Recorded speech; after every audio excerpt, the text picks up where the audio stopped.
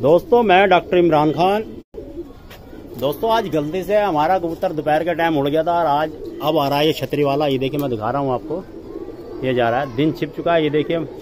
Light उट जल चुकी है ये। कबूतर मेरा इस टाइम आ रहा है ये। छतरी वाला कबूतर है मेरा ये।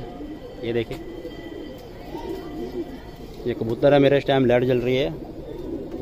ये बाहर छोड़े हुए मैंने ये। तो मैं कहा, चलो, आज वीडियो में दिखा देता हूँ, भैया, मेरा एक कबूतर छतरी पर आएगा, देखना भी.